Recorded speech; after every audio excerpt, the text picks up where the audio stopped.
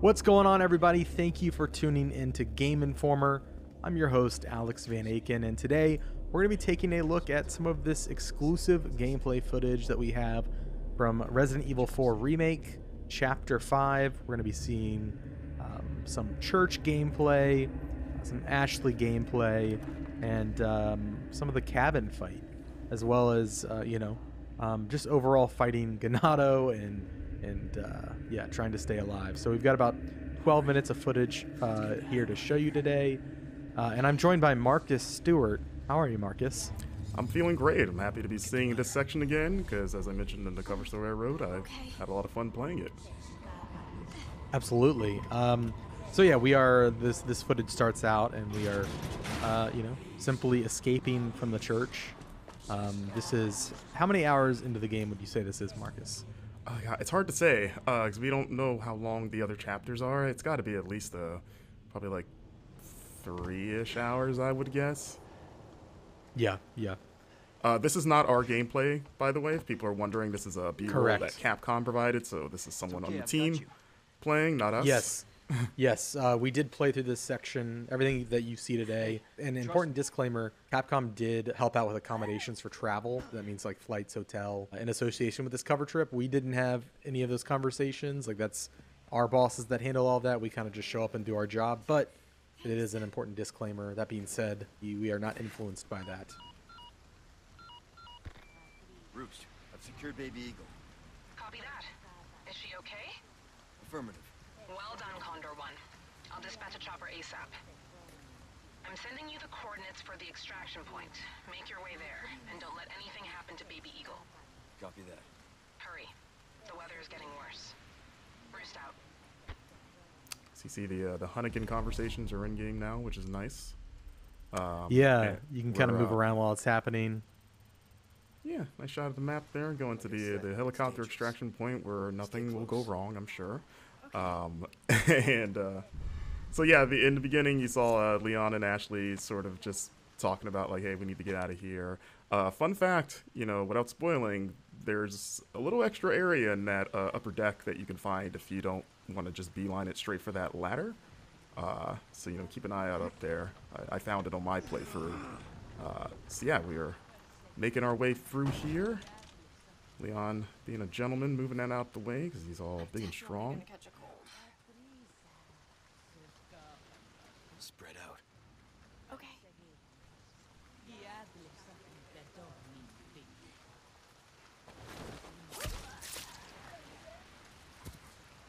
Come on.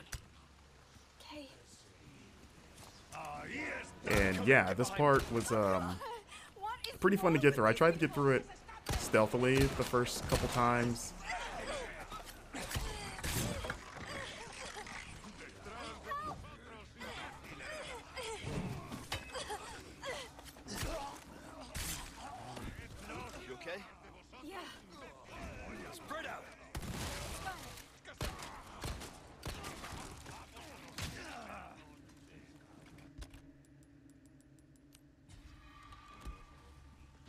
So you're gonna notice um, there's gonna be a few jumps uh, in the clips here. Again, that's a Capcom thing, so this is this isn't going to be a straight run through of the chapter. It's gonna jump around at points, uh, but as you can see, the flash grenade still very effective against those uh, tentacled, transformed Ganado. As we uh, enter the cemetery, you get a little bit of a a little bit of a taste of one of the side quests, which is sort of a spin on the cemetery puzzle. As you can see, you can still shoot birds' nests to get those uh, precious eggs, or I guess a chicken egg that's in a bird nest in the tree. Don't ask me how that works. Uh, you know how it is. But I mean, in the original game, you killed snakes and got chicken eggs, which was always kind of weird. There he is. Took care of a request. Well done. Man himself. Well, look at you, So you can see here turning in side quest, which is what you're going to be new doing. for ya. One has to wonder how he uh, moves with all that heavy equipment in that coat. You know, must be pretty strong. It's kind of like a like a Dragon Ball, like Piccolo weighted training gear. He's probably pretty strong. But uh, I was thinking he's just like into CrossFit. Uh, You know, you know, we we, we don't know. He's a mysterious figure as you see we're upgrading our equipment here. You can upgrade knives now, as mentioned in the cover story, which is nice, which you're going to be needing because they're uh, they have limited durability. And you're going to be using it quite a bit for the new parry mechanic, which I enjoy. And you can see there's another side quest right there. You're going to want to keep an eye out in the environment for those blue flyers. Oh, so there's the Wild Dog quest. That was one of the more involved quests that we saw so far. Absolutely. We need to keep moving. And you won't see the solution um, in this footage, but you will see um, sort of what's on the other end of this side quest for you. Yeah. Um, the dog is hard to find. We we are going to show the dog, um, but the way to find the dog is will be, I guess, a little bit of a mystery. And also important to note, we turned left when we left that door. There is another path behind us if we were to turn right out of that door that goes into an underground tunnel that like takes you up through a well in the village. So there's a lot of paths uh, available. Yeah, like when I we both came through here, we just assumed just the way the camera's framed. We're like, okay, this is the it's the only way to go. But yeah, uh, one of the producers pulled us aside and was like, hey, check this out. And we were like, oh, okay. Not bad, right? Here we go. We've got the uh, village at night. The lady thought she could uh, take a pitchfork to Leon. Didn't work out for her. And this is uh, I I, another- Mhm.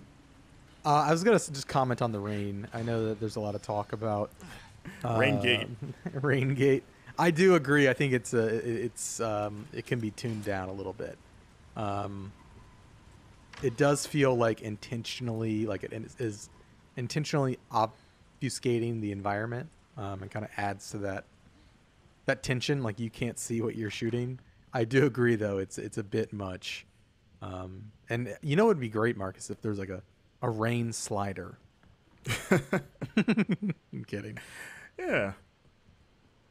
I just want a nice little downpour as we see uh I love the lighting in this game, you know.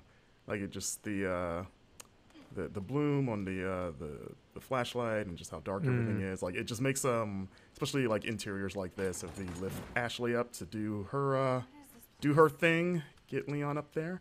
Yeah, it just makes the interiors creepier. Like that, like the first time that owl made me jump because you just see the glowing eyes in the dark. and Yeah. you're like, oh my god, like what is that? There, there. I will say there, there were a couple times when I was playing the demo where uh, I was kind of in a very dark environment, and Leon wasn't pulling up his flashlight, which is kind of frustrating. So I'm just kind of like clambering around in the dark. It was mostly like outdoor. Oh, There he is. the dog. Look at that thing. It's got like weird. It looks like a scorpion tail. Now that I'm looking at it again. So yeah, uh, Capcom also pointed out, for those wondering, that this dog is not the dog that Leon can rescue in the original game, because you know in this game he's presumably dead. Uh, so you know at the time we kind of were like, oh, maybe this is the dog, but they were very clear to point out, like, nope, different dog. And you're like, okay. but yeah, that uh, They that dog also fight is pretty hard.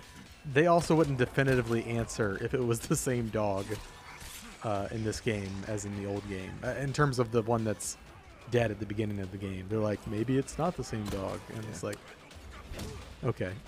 So you see a blue medallion up there as Leon takes it out. So you see it's one of five. So I asked Capcom about that because in the original game it was kind of like 15 in the same area, and they said that um, that side quest reappears in different parts of the map. So you're going to be shooting.